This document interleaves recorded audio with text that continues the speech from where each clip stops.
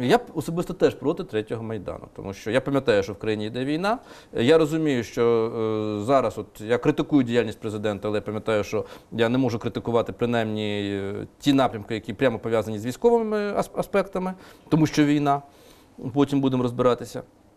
Е, Відповідно, і третій майдан теж може становити небезпеку. А з іншого боку, те, що робить уряд, е, ну, головний е, промоутер третього майдану це саме уряд. Персонально Арсеній Петрович Яценюк.